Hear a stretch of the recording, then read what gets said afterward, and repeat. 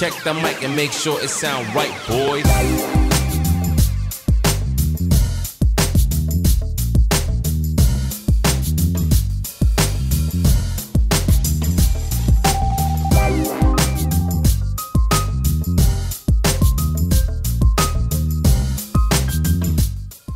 Hey guys, welcome back to my channel and today I'm going to talk about something which is very important for every digital content creator. कोई भी digital content impactful तभी बनता है when it gives a wholesome audio and visual experience ऐसा कहा जाता है कि एक बार आपकी वीडियो क्लियर नहीं हो तो भी हमारा ह्यूमन ब्रेन उसको ठीक ठाक इंटरप्रेट कर लेता है। बट अगर ऑडियो खराब हो तो it can ruin the entire experience and to have that crispy audio in your content you have to have a good microphone ना मार्केट में काफ़ी सारे प्रोफेशनल माइक्रोफोन्स अवेलेबल है। बट वो बहुत एक्सपेंसिव है but there are also cheaper option available in the market for beginners like myself now the product I am going to talk about today is perfect for podcast live streaming gaming YouTube, and even professional singing. And it comes in a very, very affordable budget bracket. So the product is called Maono AU PM421 condenser microphone. So let's get right into unboxing of this product and देखते हैं इसके features क्या क्या है so so, ये है इस product का बॉक्स ब्लैक और येलो के कलर कॉम्बिनेशन में है बॉक्स के पीछे के साइड में आप देख सकते हैं कि कुछ टेक्निकल स्पेसिफिकेशंस दिए हुए हैं मैन्युफैक्चरिंग इन्फॉर्मेशन है, और इस साइड में इसके फीचर्स के बारे में कुछ इन्फॉर्मेशन है। हम इनमें से सारे के सारे फीचर्स के बारे में बात नहीं करेंगे, सिर्फ़ जो इंपॉर्टेंट फीचर्स है उनके बारे में आज बात करेंगे। बॉक्स खोलते ही सबसे पहले आपको दिखेगा एक thank you card then as usual user manual दिखेगा। यूज़र मैनुअल सरप्राइजिंगली अच्छी क्वालिटी पेपर पे बना हुआ है, और कलर्ड ग्राफिक्स के साथ भी आता है। बॉक्स खोलते ही आपको इसके एक एक कंपोनेंट दिखने लग जाएँगे।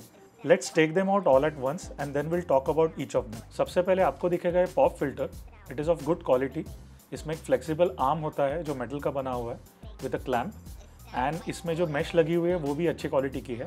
इसमें माउनो की ब्रांडिंग भी है. देन ये है एक table clamp we can use this table clamp to mount the boom arm on the table और द डेस्क देन आता है ये बूम आर्म और it is also called as a scissor arm ये एक फ्लेक्सिबल आर्म है जो काफ़ी दूर तक रीच भी कर सकता है और फोल्ड भी हो सकता है. So it gives you a very good flexibility as far as the mic's position is concern then we have a USB cable very strong cable almost two two three meters की होगी मेरे अंदाजे से. Then ये एक Velcro cable type भी दिया हुआ है which we can use to fast fasten the USB cable to the boom arm then ये है एक wind filter if we are using the mic in a situation then we can use it with the mic this this way comes the mic mic itself.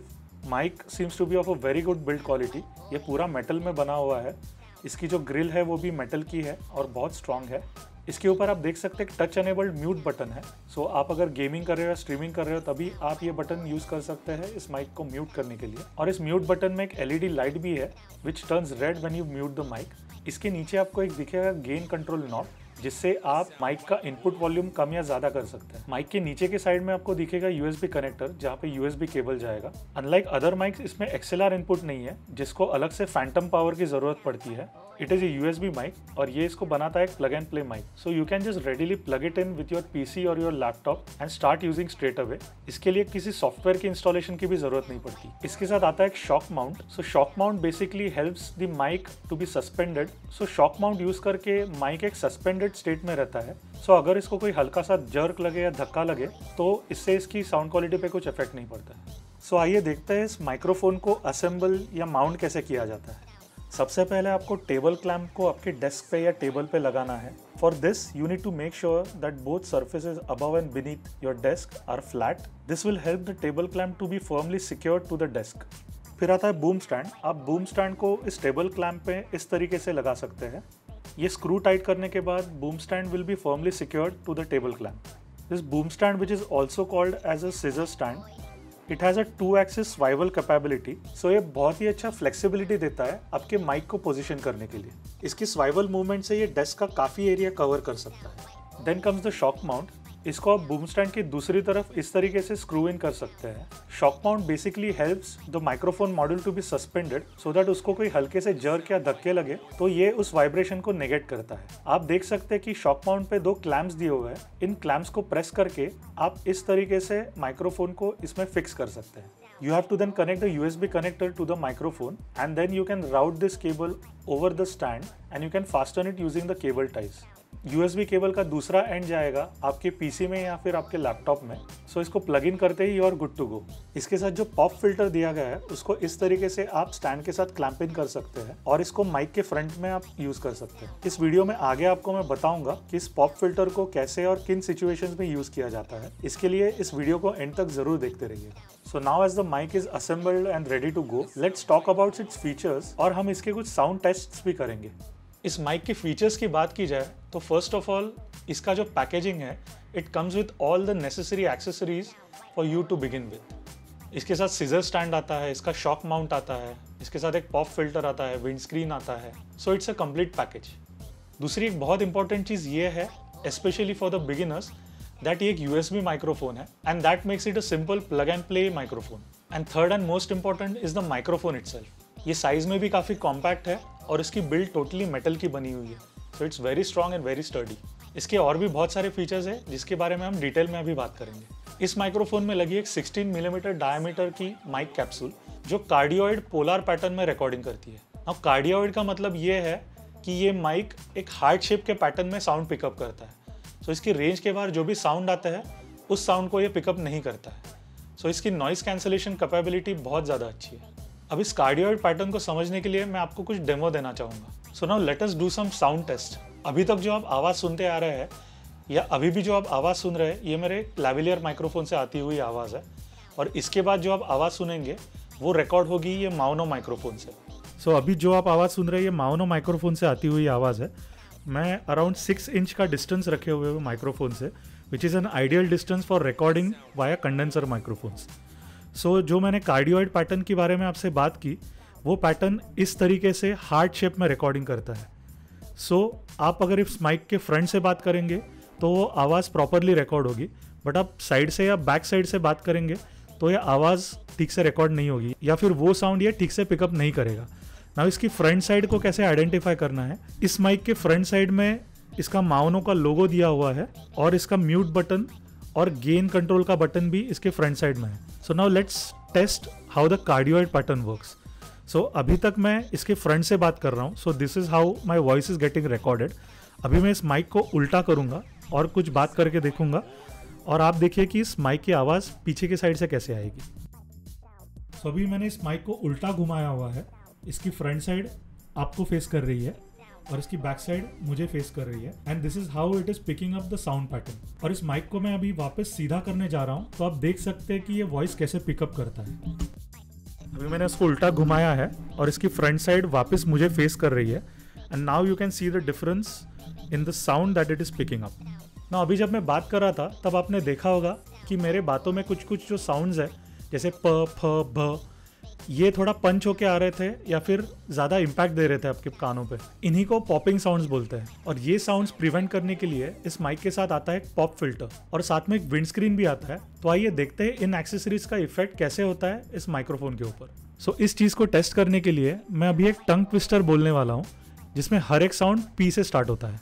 So the tongue twister goes like this Peter Piper picked a peck of pepper so आप सुन सकते हैं जब भी मैं बात कर रहा हूँ तभी जो पी का साउंड है जो पॉपिंग साउंड है वो ज़्यादा एम्फोसाइज होके आता है which is not very pleasant so now let's apply the wind screen on this microphone और देखते हैं कि सेम सेंटेंस कैसे साउंड करता है।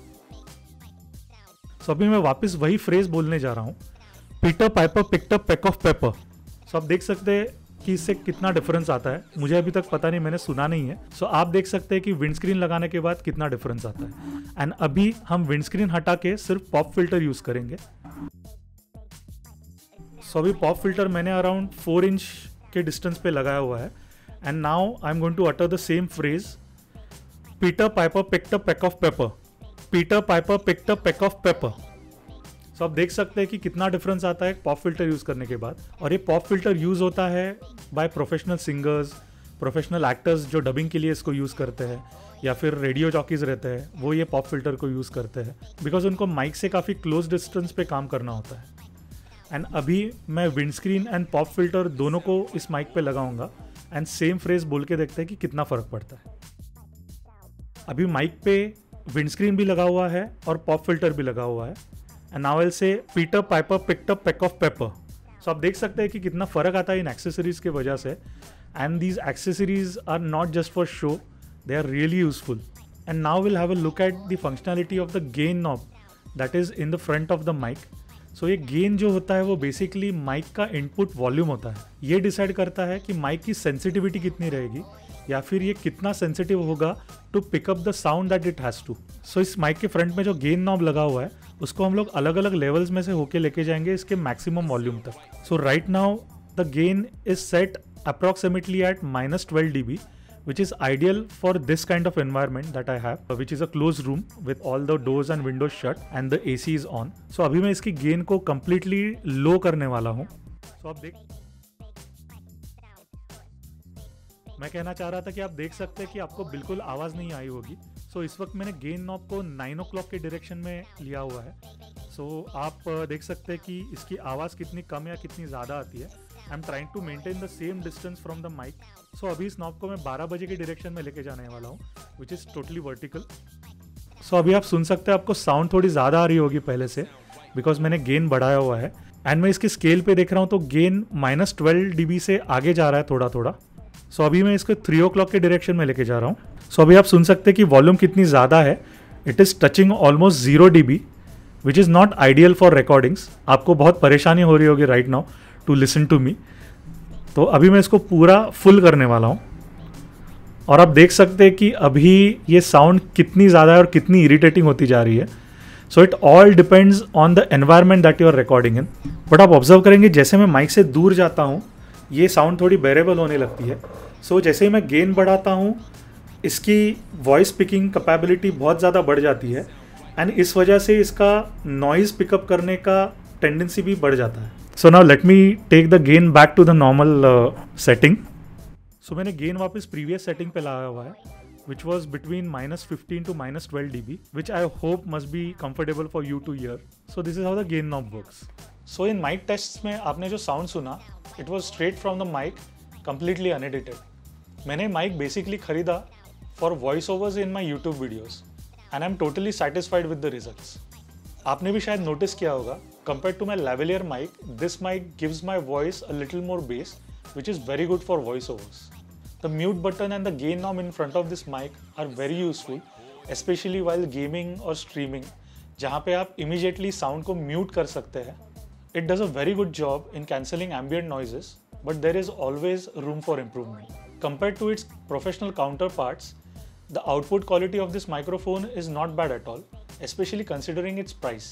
सो so, मैंने ये माइक खरीदा for rupees five thousand one ninety nine there are other version of this microphone which cost between rupees three thousand to four thousand so आप आपके बजट के हिसाब से चूज कर सकते हैं आपको कौन सा माइक खरीदना है and links are down below in the description you can use them To buy the microphone of your choice so इस बजट में Maono is offering a very good package with all the required accessories right in the box जो otherwise आप अलग अलग खरीदने जाओ तो आपको ऑलमोस्ट डबल प्राइस पड़ सकती है so my recommendation is if you are looking for a podcast mic और a mic for voice overs you should definitely go for this product. And if you really like this video, do hit that like button, share this video with your friends, and subscribe to my channel for more interesting videos.